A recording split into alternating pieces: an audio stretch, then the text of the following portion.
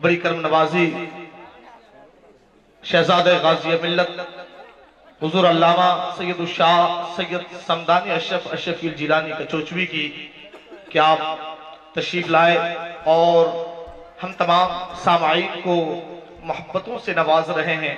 دوستانی محترم، یہ آپ کی محبتوں کا معراج ہے یقیناً کہ حضور کی موجودگی ہے اور اس کے بعد اس درمیان میں ہم تمام کو نعت و منقبت ساتھی تقاریر بھی سماعت کرنی ہے۔ اس کے بعد دستار بندی کا ایک عظیم منظر ہمیں ملاحظہ کرنا ہے۔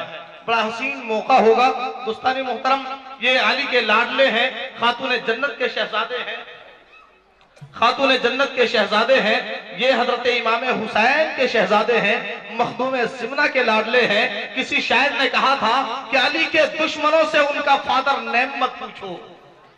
علی کے دشمنوں سے ان کا فادر نیم مت پوچھو۔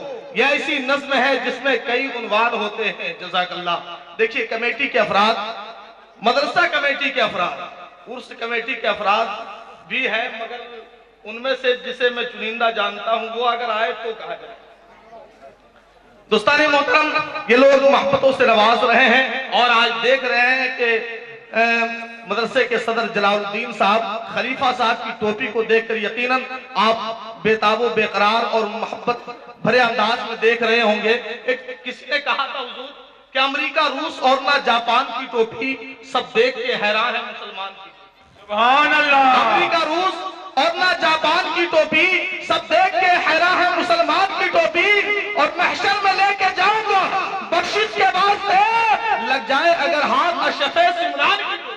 سبحان اللہ سبحان اللہ۔ ہاتھ اشف سمران کی ٹوپی۔ تو میں کہہ رہا تھا کہ علی علی کے دشمنوں سے ان کا فادر نیم مت پوچھو۔ علی کے دشمنوں سے ان کا فادر نیم مت پوچھو۔ یہ ایسی نظم ہے جس میں کئی عنوان ہوتے ہیں۔ جب یہ بات چندن صالحال تک پہنچی تو انہوں نے کہا، انہوں نے کہا کہ جس میں سرکار کی الفت نہیں ملنے والی، اس کی نسلوں میں شرافت نہیں ملنے والی۔ ذرا کہیے نا سبحان اللہ۔ سبحان اللہ۔ جس میں سرکار کی الفت نہیں ملنے والی اس کی نسلوں میں شرافت نہیں ملنے والی۔ اور پہلا اور آخری قاری ہے علی کا بیٹا اب سر نیزہ تلاوت نہیں ملنے والی۔ اب سر نیزہ تلاوت نہیں ملنے والی۔ اور چاہے چاہے کعبے میں ہی مر جائے علی کا دشمن یہ تو طے ہے اسے جنت نہیں ملنے یہ تو طے ہے، اسے جنت نہیں ملنے والی۔ اور کسی نے کہا تھا، ہم لوگ خانقاہ سے محبت کرنے والے ہیں۔ خانقاہ کی بھیک طرح اپنی زندگی کو گزارتے ہیں۔ کسی نے کہا تھا کہ جس کو خانقاہوں سے تربیت نہیں ملتی، در بدر بھٹکتے ہیں، شہریت نہیں ملتی۔ جس کو خانقاہوں سے تربیت نہیں ملتی، در بدر بھٹکتے ہیں، شہریت نہیں ملتی۔ ہم نے شجرہ دیکھا ہے، دشمنان حیدر کا۔ ارے ماں کا نام ملتا ہے، ولدیت نہیں ملتی۔ سبحان اللہ. کا نام ہے. ولدیت نہیں ملتی. دوستانی محترم اب آئیے یوں تو آپ کی طبیعت چاہتی ہوگی کہ جناب جنید اختر رائے پوری کو سماعت کریں۔ آپ کی طبیعت تو یہ بھی چاہتی ہوگی کہ ڈائریکٹ ہم حضرت کو سماعت کر لیں۔ دوستانی محترم لیکن جب آپ محبتوں کے ساتھ بیٹھ ہی گئے ہیں جب آپ اخلاص و للہیت کی زنجیروں میں قید ہو چکے ہیں جب آپ اصلاح عمل کے پاکیزہ شاہراہوں کے مسافر بن ہی گئے ہیں جب آپ اپنی آنکھوں میں عشق مصطفیٰ کا سرما لگا ہی لیا ہے۔ جب اپنے سینوں کی دیواروں پر محبت آل رسول کا پاکیزہ تغرا نصب کر ہی لیا ہے، تو آئیے اسی رنگ و آہن کے آئینے میں اپنے کردار کی تصویر دیکھنے کے لیے۔ کسی پھولوں کی بکھری ہوئی پنکھڑیوں کو ترتیب سے گلدان میں سجانے کے لیے، کسی مذہبی کتاب کا مطالعہ کرنے کے لیے کانچ کے بکھرے ہوئے ٹکڑے کو اکٹھا کر کے عشق مصطفیٰ کا آئینہ بنانے کے لیے اس معزز و پاکباز ہستی سے ملاقات کرتے ہیں، جنہیں دنیا شیخ الحدیث حضرت علامہ مفتی فاروق عالم شفیع مصباحی صاحب قبلہ کے نام سے جانتی ہے۔ آئیے ان کا استقبال نعرہ تکبیر و رسالت کی گونج میں کرتے ہیں۔ دونوں ہاتھوں کو بلند کر کے نعرہ لگا لیتے ہیں۔ نعرہ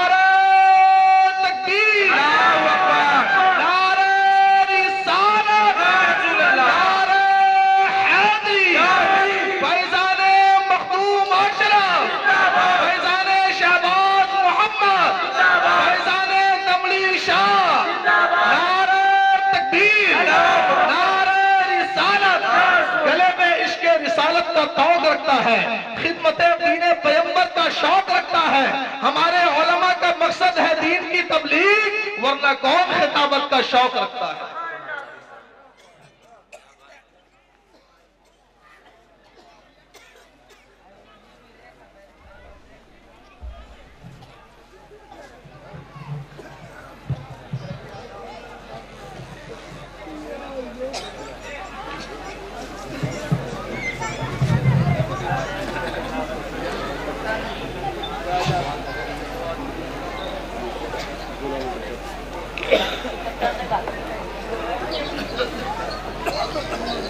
نشیف تشریف فرما۔ شہزاد حضور غازی ملت، حضرت علامہ سید شاہ غلام سمدانی صاحب قبلہ مدزل العلی معزز و محترم سورہ اعظام مدہ مصطفیٰ، حاضرین، سامعین عزیز بچوں پردہ نشین خواتین اسلام السلام علیکم ورحمۃ اللہ وبرکاتہ۔ وعلیکم السلام ورحمۃ اللہ وبرکاتہ۔ نحمده ونصلي ونسلم على حبيبه الكريم أما بعد فقد قال الله تبارك وتعالى في القرآن المجيد والفرقان الحميد. أعوذ بالله من الشيطان الرجيم. بسم الله الرحمن الرحيم.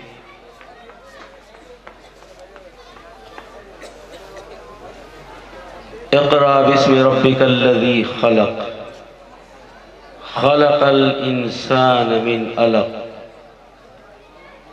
اقرأ وربك الأكرم الذي علم بالقلم، علم الإنسان ما لم يعلم. آمنت بالله، صدق الله العظيم، وصدق رسوله النبي الأمين الكريم. ونحن على ذلك لمن الشاهدين والشاكرين. والحمد لله رب العالمين. آج آپ حضرات نے شاید اندازہ لگا لیا ہوگا کہ میری تقریر زیادہ دیر نہیں ہوگی۔ کیونکہ حضور شہزادہ غازی ملت تشریف فرما ہے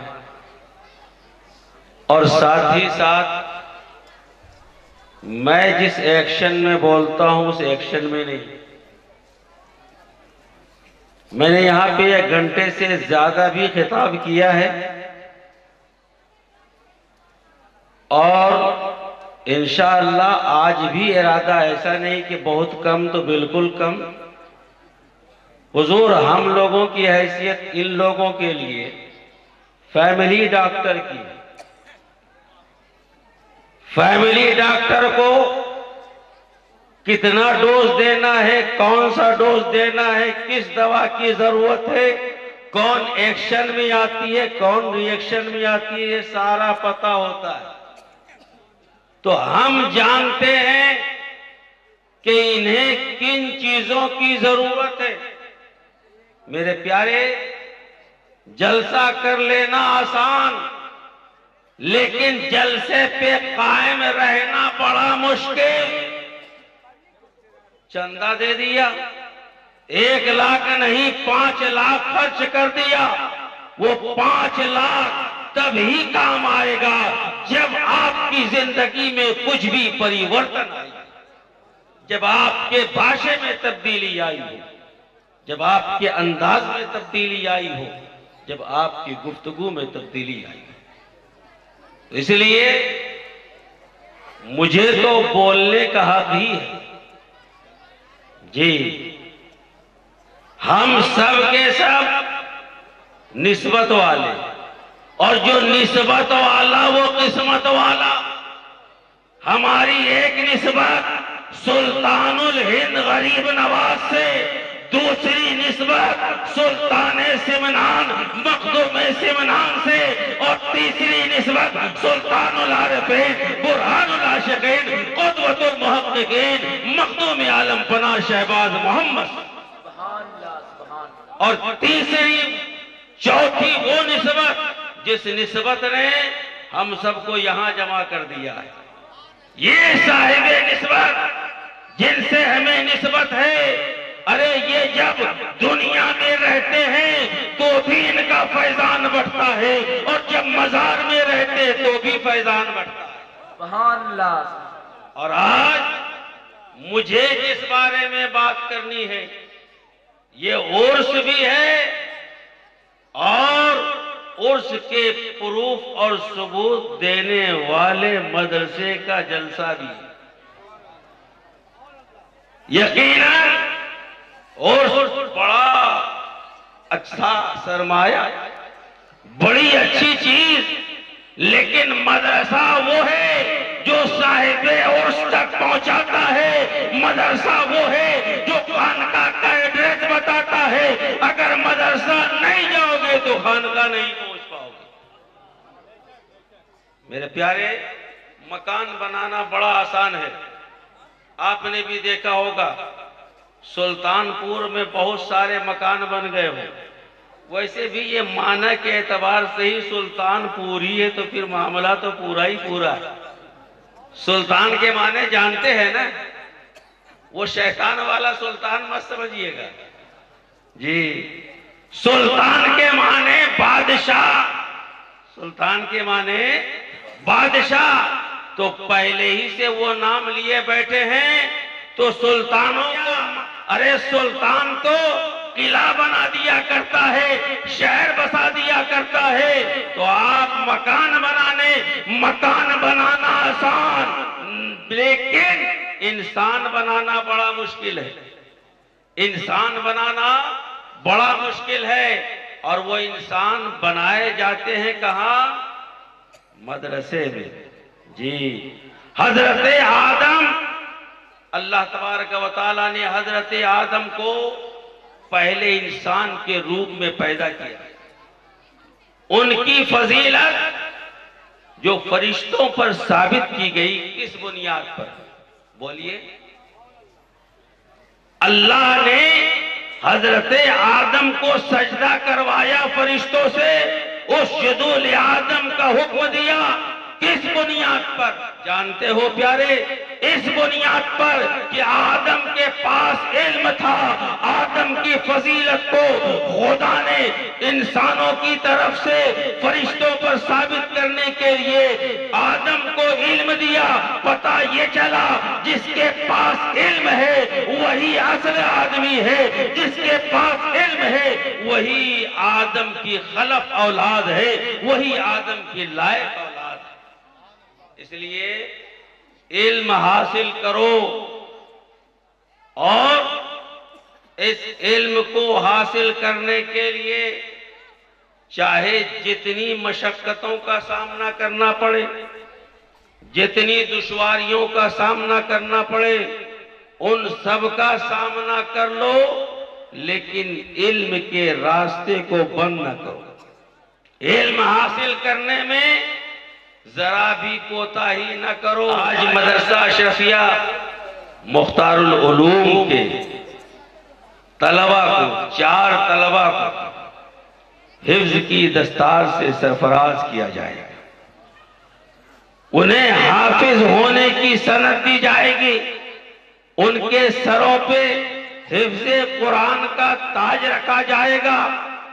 ارے پیارے، کتنی خوشی ہوتی ہے حافظ بننے میں، اس بننے والے حافظ سے پوچھو اور ان کے ماں باپ سے پوچھو اور کیوں نہ خوشی ہو؟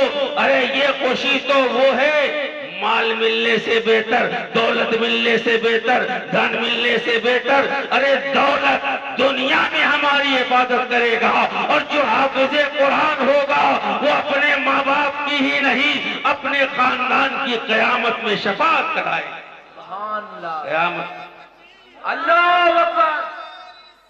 یا رسول اللہ. یا علی. زندہ باد. اللہ اکبر. یا رسول اللہ. آج ان بچوں کے سروں پہ دستار حفظ باندھی جائے گی. کل قیامت کے دن ان کے ماں باپ کا کیا مقام ہوگا؟ آج دینی تعلیم اور خاص کر حضور مدرسے میں پڑھنے والے کو بہت نیچی نظر سے دیکھتے ہیں۔ لیکن میں کہتا ہوں، مت! تم احساس کمتری میں مبتلا ہو۔ وہ نادان ہے جو تمہیں نیچا سمجھتے ہیں۔ اگر وہ سمجھدار ہوگا تو کبھی تمہیں نیچا نہیں سمجھے گا۔ کیونکہ مدرسے کے پڑھنے والے سے بڑا ہمارا جی مہربان کون ہے؟ گھر میں بچہ پیدا ہوتا ہے نا، اذان دلوانے کس کو بلاتے ہو؟ ڈاکٹر صاحب آتے ہیں کہ انجینئر صاحب، ایس پی صاحب کے ڈی ایس پی صاحب، بولو۔ نعرہ مت لگاؤ، لیکن میرے ساتھ تھوڑا سا بولتے رہو۔ کون اذان دیتا ہے؟ مؤذن صاحب جی حافظ صاحب، کوئی اپنے اعتبار سے کسی عالم کو بلا کے اذان دے؟ جی اذان وہی دے گا۔ اب عقیقہ کرنا ہے ساتویں دن۔ جی اب تو خیر چھٹی کے معاملے سے تھوڑی چھٹی ہوئی ہے۔ پہلے عقیقہ نہیں، چھٹی بہت تھا۔ دیہاتوں میں تو اور رواج، کیا کیا لپیٹ وپیٹ کے یاد رکھو، یہ چھٹی وٹی کچھ نہیں، اسے چھٹی دے دو۔ ارے چھٹی ہے تو بس ایک چھٹی ہے، جو سلطان الہند کی چھٹی ہے غنی نواز کی چھٹی۔ اس چھٹی کو اپنا لو، تمام چھٹی سے تمہاری چھٹی ہو جائے۔ عقیقہ ہونا چاہیے ساتویں دن۔ جی ساتویں دن عقیقہ کرے۔ اور نہ ہو سکے تو پھر جب چاہے کرے۔ عقیقہ عقیقہ کرنے کے لیے جانور ذبح کرنے کس کو بلاؤ گے میں پوری ذمہ داری کے ساتھ کہتا ہوں، جو باپ کر رہا ہے عقیقہ نا، اسے بھی عقیقہ کی دعا یاد نہیں وہ بلائے گا حافظ عالمگیر صاحب کو، وہ بلائے گا حافظ اسماعیل صاحب کو کہے گا، عقیقہ کرنا ہے، ذبح کر دیجیے، بیٹا آپ کا. حافظ صاحب کہے دمہا بے دم ہی لہمہا بے لہم ہی ازمہا بے ازم ہی جلدہا بے جلد ہی، اللہم جل ہو فدان لیبن فلان من النار. میرے پیارے بتاؤ اس سے بڑا اور کون غمخار ہوگا؟ تمہارے بیٹے کی حفاظت کی دعا تمہارا یہ امام پڑھ رہا ہے، تمہارے اس مدرسے کا پڑھنے اور پڑھانے والا پڑھ رہا ہے۔ اب اس کے بعد پھر جب معاملہ آئے گا فتنہ وتنا کا، میلاد کرنے انہوں کو بلاؤ گے۔ نکاح پڑھانے، انہی کو بلاؤ گے۔ اور اگر طلاق دے دیا تو پھر ہمارے پاس آؤ۔ آج اس کا بڑا رواج۔ اور کبھی کبھی ایسا نہیں، طلاق کی ڈوری تو حضور ہے مردوں کے پاس۔ لیکن کبھی کبھی ہماری بہنوں کا تیور بھی بڑا بھیانک۔ ان کا تیور دے، باپ کا بیٹا ہے تو دے، ارے باپ کا نہیں تو پھر کس کا تیرا بیٹا ہے؟ دے دے میری بہنوں، وہ شوہر ہے شوہر، اس کا مقام، اس کا مرتبہ وہ ہے کہ اللہ کے نبی فرماتے ہیں، لو کنت امرن ان یسجد لغیر اللہ لامرت النساء، ان یسجدن لازواجہن، اگر خدا کے سوا کسی کو سجدہ کرنا جائز ہوتا تو میں عورتوں کو حکم دیتا کہ اپنے شوہروں کو سجدہ کریں اپنے شوہروں کو سجدہ کرے۔ تم کہتے ہو، دو دو۔ ارے، مرد مرد ہے۔ غیرت مردانگی جلال میں آئی جاتی ہے۔ اس نے بھی ون ٹو تھری کر کے کر دیا پھر۔ یہ میں کہنا چاہتا ہوں، یہ حالات کیوں بنے؟ جھگڑا ہوتا ہے تو ایک طرف سے تھوڑا ہی ہوتا ہے۔ جھگڑا ہوتا ہی ہے دو کے بیچ میں، کچھ ادھر سے، کچھ ادھر سے۔ میری پیاری بہنوں میرے بھائیوں، اگر اختلاف ہو، جھگڑا ہو، اس جھگڑے کا حل طلاق نہیں ہے، بہت سارے راستے ہیں، بہت سارے طریقے ہیں، اور دینے کے بعد میں خود پریشان ہو جاتا ہوں جب میرے پاس آتے۔ کسی کا چار بچہ، کسی کا تین بچہ۔ اب دیکھیے کیا ہوتا ہے معاملہ۔ اب تو وہی جو کبھی سنا کرتے تھے۔ پہلا پہلا ابھی نہیں، دوسرا جلدی نہیں، تیسرا کبھی نہیں۔ یہ یہ اب پھر وہی اور کیا کیا لایا جا رہا ہے؟ میں جب غور کرتا ہوں تو لایا گیا قانون ضرور ہے، لیکن آج بھی ہم اگر کائنات کے رب کی طرف رجوع کر جائیں، ادھر متوجہ ہو جائیں، تو دنیا کی ساری قانون کے سارے دروازے یقیناً بند ہوتے ہوئے نظر آئیں گے۔ میں کہتا ہوں پیارے جیسے تم جمعہ میں آتے ہو مسجد پانچوں وقت آنا شروع کر دو پھر دیکھو ملک کے حالات کیا ہوتے جمعہ میں جیسے جاتے ہیں نا پانچوں وقت جائیں رب کی طرف جائیں رب کی بارگاہ میں جب جائیں گے یقیناً ہمارے رب کا ہم پر انعام ہوگا۔ ہمارے رب کا ہم پر اکرام ہوگا۔ ہمارے رب کی رحمت ہماری طرف متوجہ ہوگی۔ تو طلاق یقیناً تمام جائز چیزوں میں سب سے بدترین چیز ہے۔ ہاں ایک بات ضرور آپ کو بتا دوں۔ کبھی کبھی دوسری قوم کے لوگ کہتے مسلمان طلاق دیتے نہیں، ان کے اندر بھی ہے ان کا الگ انداز خود ہمارا پی ایم بغیر دیے ہوئے اتنے دن سے چھوڑے ہوا ہے۔ جی؟ اتنے دن سے چھوڑے ہوا ہے۔ ارے، یہ تو دے کے چھوڑ دیتا ہے۔ جو چاہے کر لے۔ جو چاہے کرنا چاہے کر لے۔ یقیناً طلاق کی ملامت سے بچو۔ اس سے دور رہنے کی کوشش کرو۔ طلاق ہو گئی، آئیں گے یہی۔ پھر اس کے بعد انتقال ہو گیا۔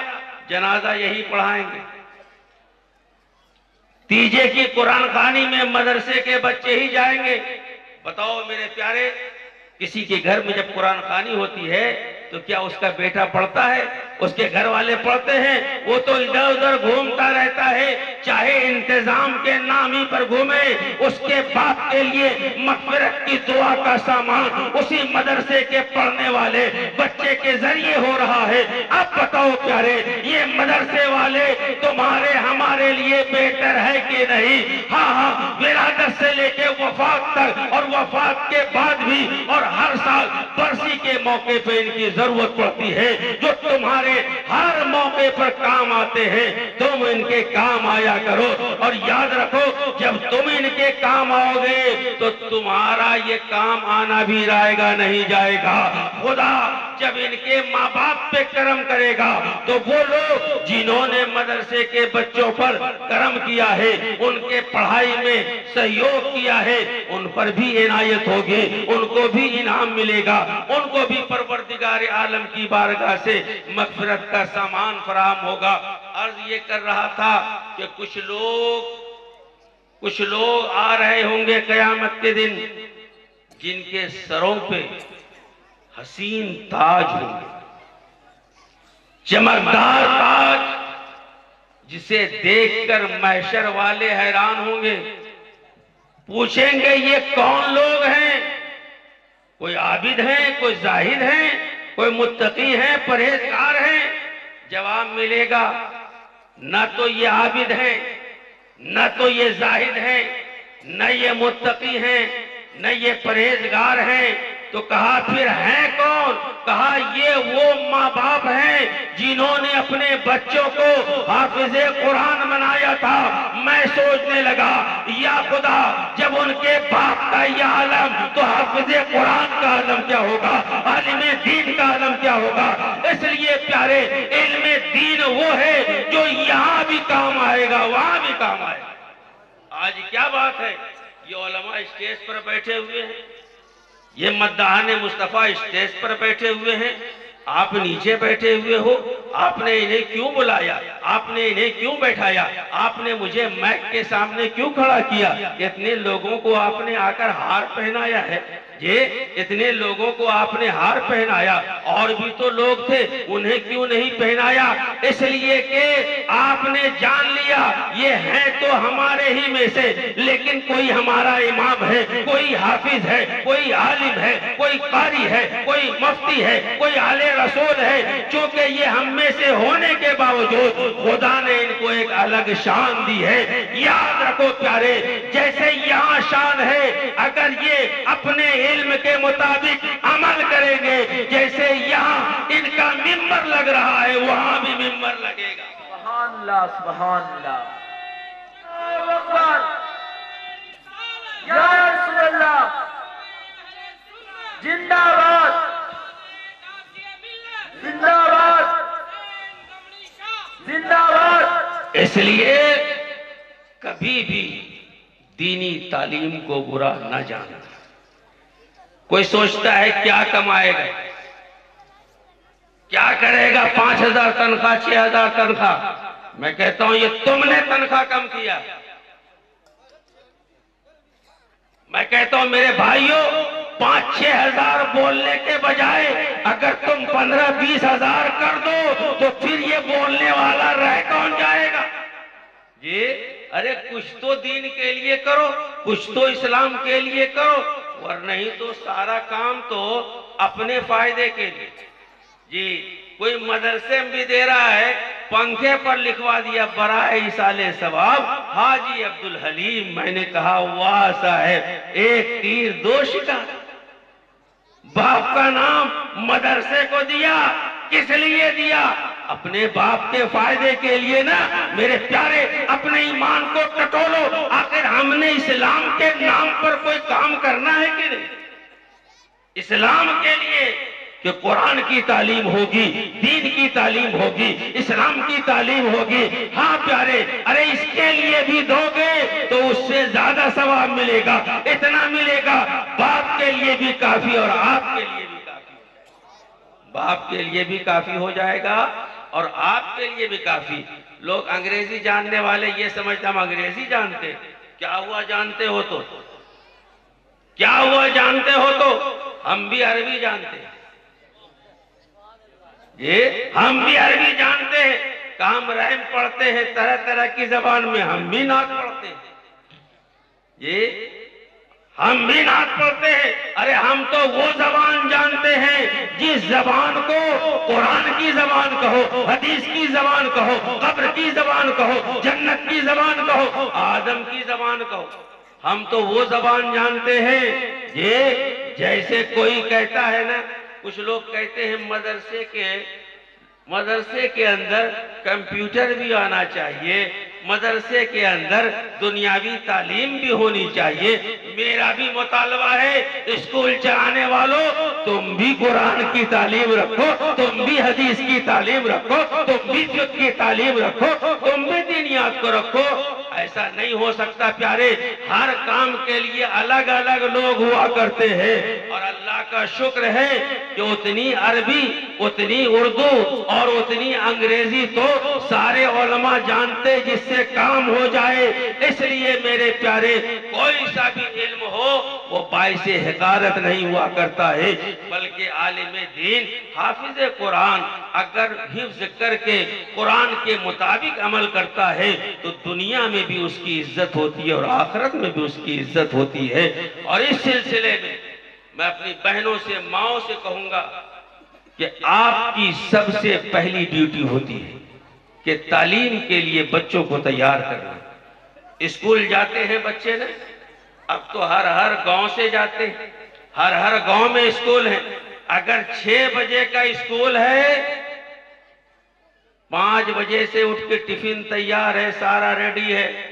جی تاکہ اسکول جانے میں دیر نہ ہو۔ میری بہنوں جتنا تم نے اسکول بھیجنے میں اہتمام کیا ہے، تھوڑا سا مدرسہ بھیجنے میں بھی اہتمام کرو، تھوڑا سا مدرسہ بھیجنے میں بھی احترام اہتمام کرو۔ آج ہوتا کیا ہے؟ ہوتا یہ ہے، اسکول کے نام پر اگر ٹیوشن پڑھایا جائے، دو ہزار بھی دے دیں گے، کوئی پرواہ نہیں۔ اور امام صاحب نے اگر کہہ دیا، پانچ سو روپے ماہانہ لوں گا، پانچ سو روپیہ۔ وہ آسا ہے۔ اے بی سی ڈی پڑھائے، دو ہزار دے دو، قرآن پڑھائے، تمہاری بخشش کا سامان مل جائے، تم پانچ سو میں جان پڑھاتا ہے۔ سن لو جو دین کے، علم کے، حاصل کرنے کے راستے میں پیسہ خرچ کیا جاتا ہے، اس پر بھی ثواب ملا کرتا ہے۔ اس پر بھی ثواب ملا کرتا ہے۔ اور مائیں، اس بات کا خصوصی دھیان رکھیں۔ کہ پہلا مدرسہ انہی کی گود آج کی خواتین نے یہ سمجھ لیا ہے کہ ہمارا کام پکانا چکانا ہے اور آج وہ بھی ٹھیک سے نہیں ہے پکانا چکانا۔ بس کھانا پینا ہے، باہر کا مل جائے تو اور اچھا ہے۔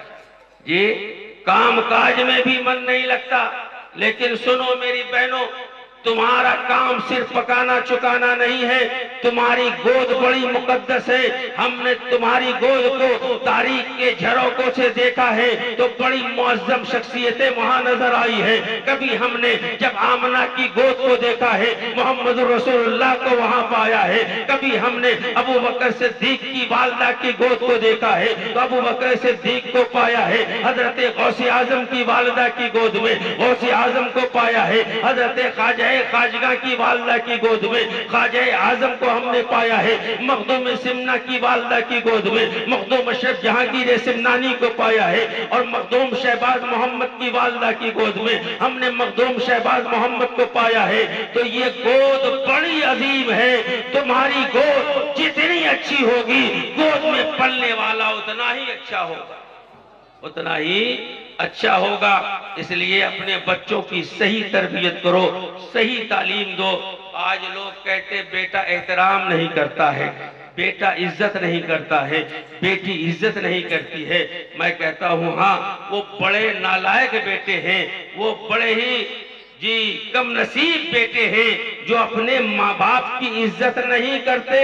بڑے کم نصیب ہیں، لیکن میں ماں باپ سے پوچھنا چاہتا ہوں، آپ نے انہیں تربیت کیسی دی ہے؟ آپ نے انہیں تعلیم کیسی دی ہے؟ آپ نے انہیں صحبت کیسی دی ہے؟ حافظ کے پاس بھیجا، عالم کے پاس بھیجا، خانقاہ میں بھیجا، بزرگوں کے پاس بھیجا، دینداروں کے پاس بھیجا۔ ارے، دینداروں کے پاس آتا تو وہ دیندار آتا۔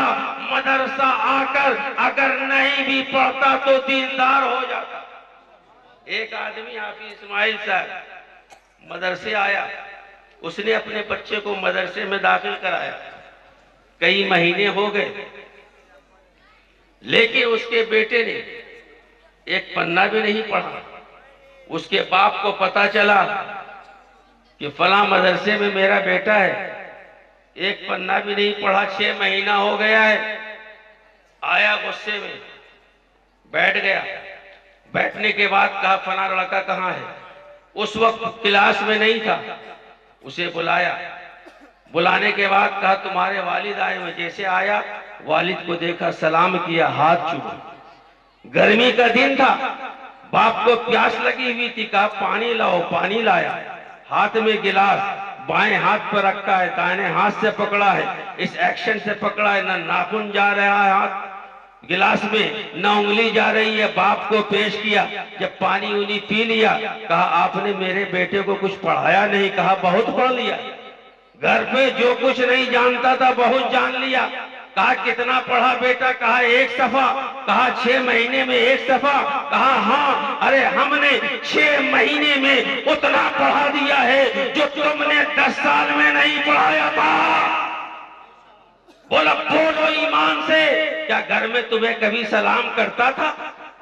گھر میں تمہیں کبھی سلام کرتا تھا؟ کبھی تمہاری دست بوسی کرتا تھا؟ کبھی تمہیں دونوں ہاتھ سے پانی دیتا تھا؟ کہا نہیں، سلام بھی نہیں کرتا تھا دست بوسی بھی نہیں کرتا تھا، پانی بھی اس انداز سے نہیں دیتا تھا۔ کہا یہی کچھ تو مدرسے میں بتایا جاتا ہے، پڑھایا بھی جاتا ہے، پلایا بھی جاتا ہے، کچھ چیزوں کو دیکھ کر بھی سیکھ لیا جاتا ہے۔ یہ نہیں جانتے ہو پیارے۔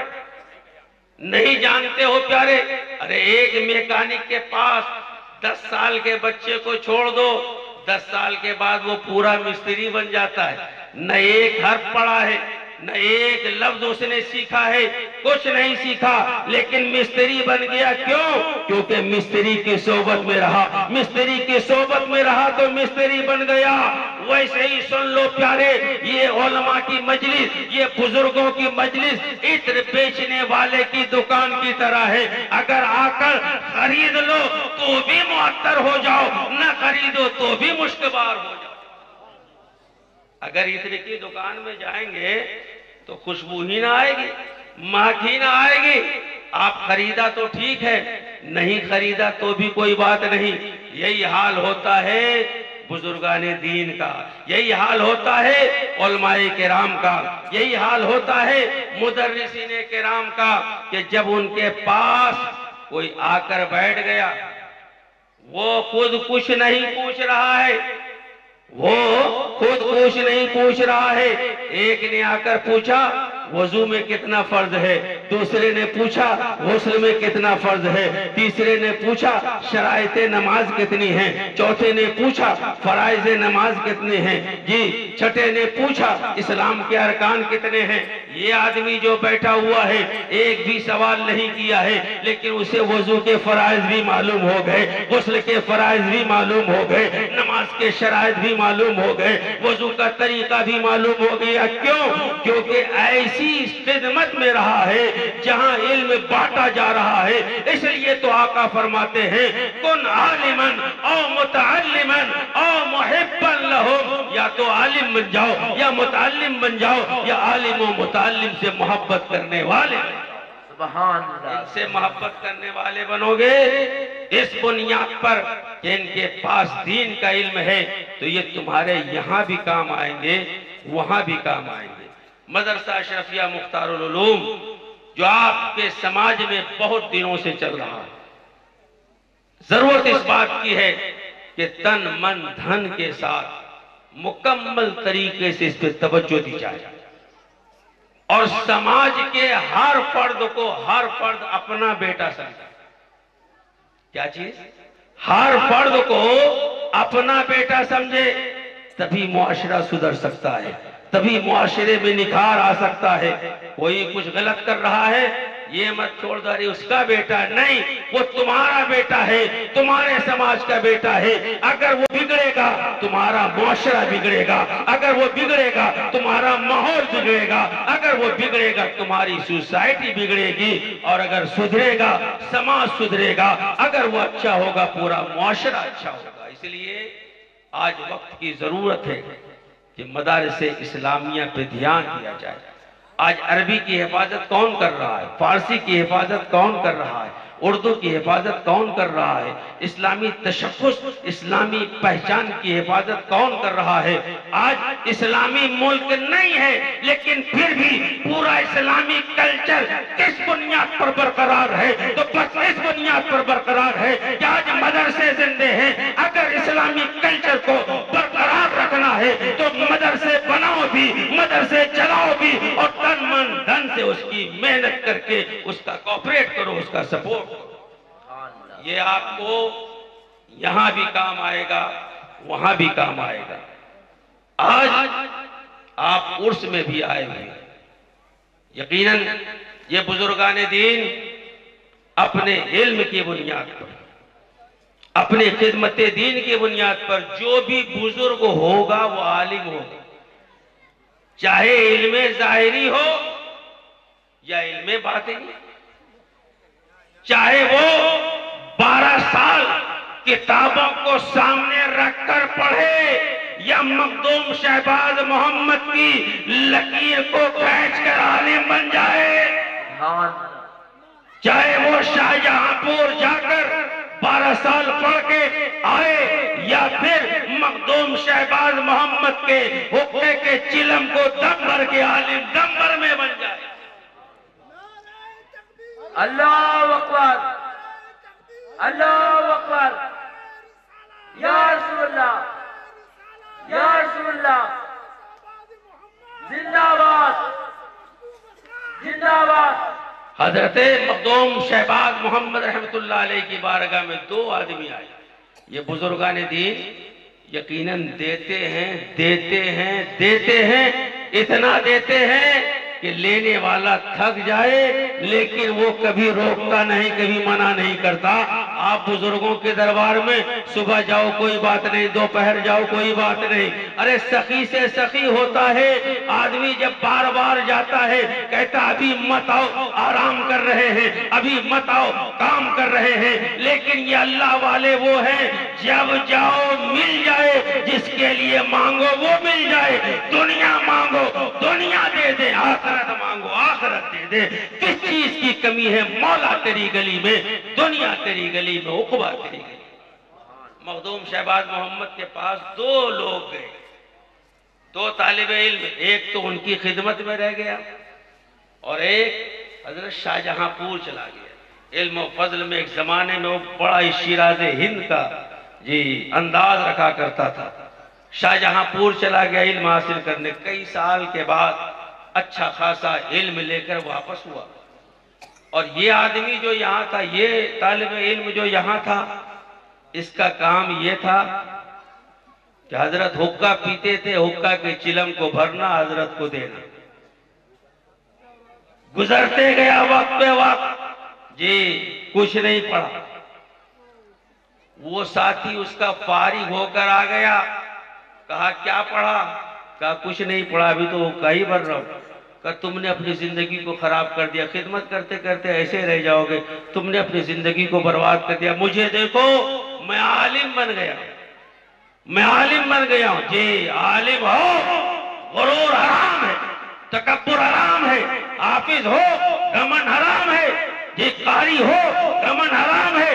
اگر ہم تکبر کریں تو قوم کے تکبر سے زیادہ برا ہے، اسے اتنا پتا نہیں جتنا ہمیں پتا ہے۔ اگر قوم گناہ کرتی ہے، یقیناً گناہ ہے۔ لیکن ہمارا جرم قوم سے بڑا ہے، کیونکہ قوم نے ہمیں اپنا رہبر مانا ہے۔ ہم نے خدا کے علم کو سیکھا۔ ہے اس لیے ہماری بھی ذمہ داری ہے۔ اور میں کھلے عام کہتا ہوں اپنے بھائیوں سے جہاں کہیں فاروق عالم اشرفی کو غلط کرتے دیکھو، ہاتھ پکڑ کر کہو، فاروق عالم یہ غلط کر رہے ہو، یہ صحیح نہیں ہے۔ میں آپ کے ہاتھوں کو چوم لوں گا، میں آپ کا شکریہ ادا کروں گا۔ کیونکہ سب سے بڑا محسن وہی ہوا کرتا ہے، جو انسان کے عیب کو بتا دیا کرتا ہے۔ مولا کائنات فرماتے ہیں، وہ تمہارا دوست نہیں ہے، جو تمہاری برائی کو بھی اچھائی کا روپ دے دے، بلکہ تمہارا دوست وہ ہے جو تمہاری برائی کو برائی کہے، تمہاری بھلائی کو بھلائی کہے۔ اب وہ کہنے لگا، میں نے تو کچھ نہیں پڑھا۔ جب بار بار کہا گیا تو تھوڑا سوچنے لگا کہ واقعتاً میں نے تو یوں ہی وقت گزار دیا۔ غمزدہ تھا۔ سرکار شہباز محمد نے دیکھا۔ بزرگوں کی نگاہ کا کیا کہنا۔ ارے جہاں ہمارا دیکھنا بند ہوتا ہے، وہ وہاں سے دیکھنا شروع کرتے ہیں۔ جہاں پہ مادیت دم توڑتی ہے، روحانیت وہاں سے اپنے سفر کا آغاز کیا کرتی ہے۔ پوچھا کیا بات ہے؟ کہا، حضور ایسی ایسی بات ہے۔ کہا اچھا جاؤ حقہ بھر کے لاؤ۔ کہا جس میں لگایا تھا وہیں سے دوں گا۔ حقہ بھر کے لاؤ۔ لایا گیا۔ آج خلاف معمول۔ پہلے جب بھر کے لا کے دیتا تھا نا، تو سرکار پیتے تھے۔ آج کہا تم پیو۔ سہم گیا۔ ارے میں اگر اپنے کسی شاگرد کو مجھے پان لا کر دے اور میں کہوں لو کھا لو وہ بھی جی میرا شاگرد ہو، وہ تو چونک جائے گا۔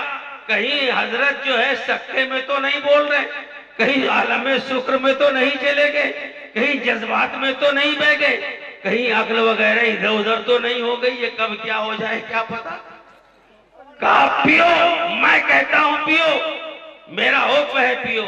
پیا پہلا کشٹ ہے چاہ اور اور پیو اور پیو۔ کہا، حضور، اب گنجائش نہیں۔ کہا پی لیا نا بلاؤ اپنے ساتھی کو پوچھو کہو اس سے جس علم کا مسئلہ ہے پوچھ لو، جو پوچھنا ہے پوچھ لو۔ اب جب آیا ہے پیارے، اب جب یہ بولنا شروع کیا ہے مخدوم شہباز محمد کا غلام، تو وہ عالم جو علم کا پہاڑ بن کر آیا تھا، اس کے سامنے زیر نظر آتا ہے، آنسوؤں کے ساتھ بارگاہ مخدوم شہباز محمد میں حاضر ہو کر معافی کا طلبگار ہوتا ہے۔ حضور، مجھے پتا نہیں تھا۔ اور وہ حقہ پینے والا کہہ رہا تھا کہ تو نے پی کتابوں سے میں نے پی نگاہوں سے فرق ہے بڑا وائز تیرے میرے پینے سبحان اللہ۔ فرق ہے بڑا وائز تیرے میرے پینے میں۔ یقیناً بزرگوں کا انداز ہی جدا گانا ہوتا ہے۔ اس لیے ہم ان کی یاد مناتے ہیں ان کے دامن سے وابستہ رہتے ہیں۔ چونکہ یہ وہ دامن ہے جن سے وابستہ رہنے کا حکم خود آقا کریم نے دیا اور خالی نہیں کہا دامن سے وابستہ رہو، بتایا، ان تمسکتم لن تزلو اگر تم ان کے دامن کو پکڑے رہو گے تو گمراہ نہیں ہوگے تو اگر گمراہیوں سے بچنا ہے، ایک ہاتھ میں قرآن رہے، تو دوسرے ہاتھ میں دامن اہل بیت رہے۔ ایک ہاتھ میں قرآن رہے تو دوسرے ہاتھ میں آل رسول کا دامن رہے کہ یہ نہ تو یہ ضرور کام آ جائیں گے۔ اگر یہ کہہ دیں نانا جان یہ میرے چاہنے والے تھے تو ہمارا کام بن جائے۔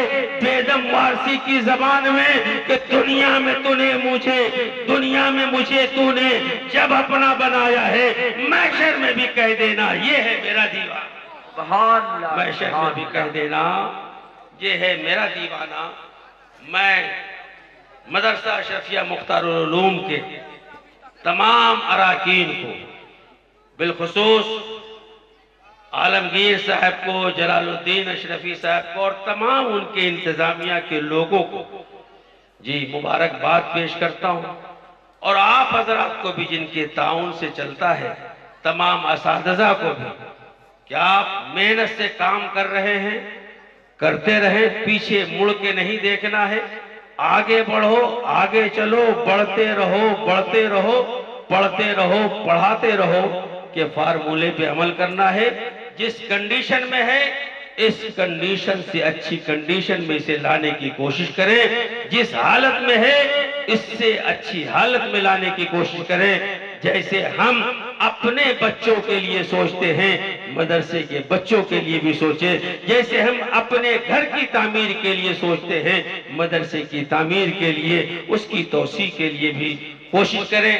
اور ساتھ ہی ساتھ مبارکباد پیش کرتا ہوں ان ماں باپ کو، جنہوں نے اپنے بچوں کو حافظ بنا کر آخرت کا ذخیرہ اکٹھا کیا اور انہیں بھی مبارکباد دے رہا ہوں کہ جو اپنے بچوں کو پڑھا رہے ہیں اور ان کے لیے بھی مبارکباد جو ارادہ کر لے کہ میں اپنے بچے کو قرآن کا حافظ بناؤں گا، میں اپنے بچے کو دین کی تعلیم دوں گا۔ آج اتنا ہی کچھ، پھر انشاءاللہ کسی موقع پہ حضور کے سامنے میں نے اتنی دیر بول دیا۔